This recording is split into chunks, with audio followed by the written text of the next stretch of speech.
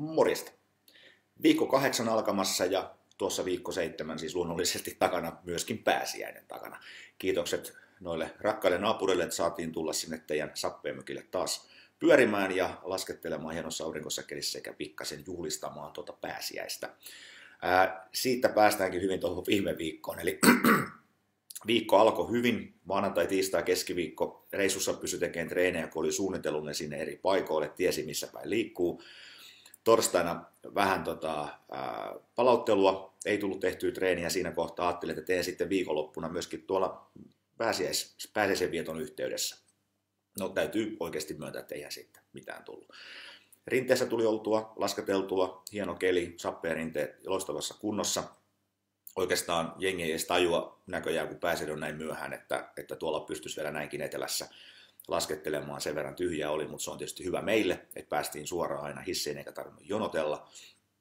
Ja muutenkin siinä pääsi sitten vähän vielä nauttimaan noista talven.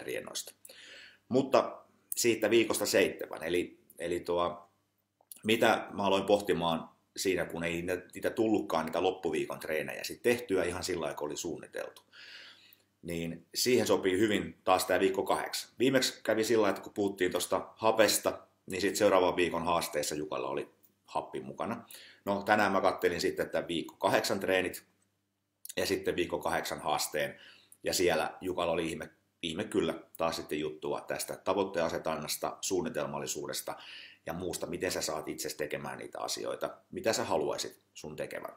Se, mitä on itse tuosta huomannut, niin on just se, että oikeasti sunnuntai-iltana, maanantai-aamuna viimeistään, niin suunnittelet sen sun viikon, katot sen kalenterin, että miltä se näyttää, missä väleissä sä siellä pystyt tekemään niitä asioita, mitä sä haluaisit, tyylin treenejä tai, tai muita sitten, mitä sun pitäisi tehdä se viikon aikana.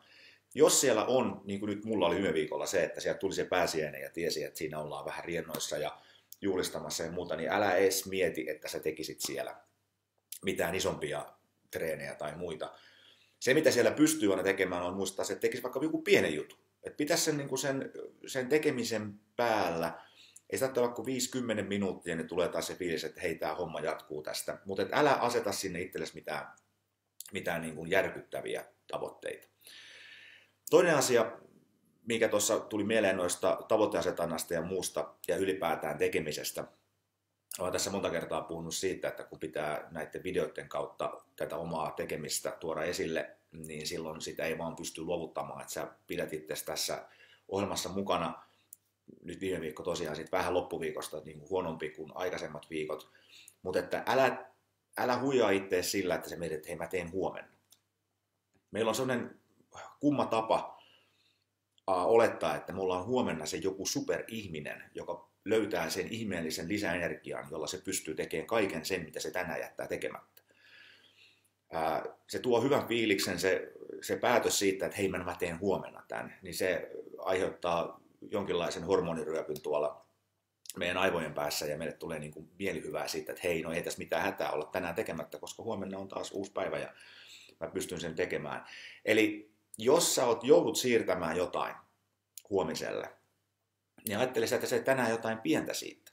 Että jätä kokonaan sitä tekemättä. Ja sitten, sitten tuo, jatkat sitten huomenna eteenpäin siitä.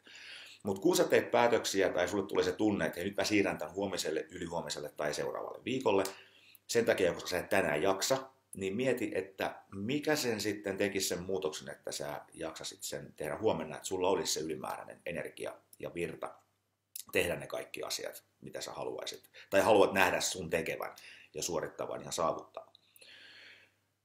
Mutta ylipäätään, se, että jos joku jää tekemättä, niin älä jää murehtimaan, märehtimään sitä, ota ittees heti niskasta kiinni ja ajattele, että hei mä teen nyt jotain. Mitä sä voit niin nyt, nyt saman tien lähteä tekemään, että se homma lähtee jatkamaan sinne oikeaan suuntaan.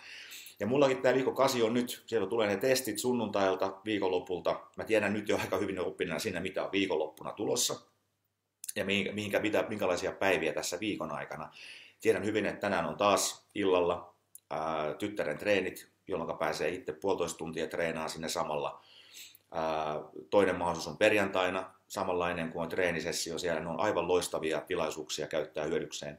Ja sitten siinä ympärillä teet ne lisäjutut, mitä, mitä tuo haluat, haluat viikon aikana tekemään. Tällä ei mä oon nyt tämän kasi viikon omalta kohdaltani suunnitellut ja on aivan varma, että tässä tulee parempi kuin tuosta seiskan viikon lopusta. Mut keli, on, keli on ulkona tämän viikon aikana kanssa sen verran hyvä, että liikutaan siellä ulkona, ettei pelkästään väännetä itteemme kierroille sisätiloissa, vedään vaikka jumppamatto terassille tai muuta ja tehdään liikkeitä siellä, käydään kävelylenkeillä, juoksulenkeillä, ihan mitä tahansa, niin kuin aikaisemminkin sanonut. Nautitaan auringosta ja, ja tuo, palataan asiaan taas, kun tässä tulee jotain kerrottavaa. Viimeistä, no tässä välissä täytyy ykset heittää varmaan, mutta viimeistään siinä kohtaa kuvataan, että mitä nuo testit näyttää. A.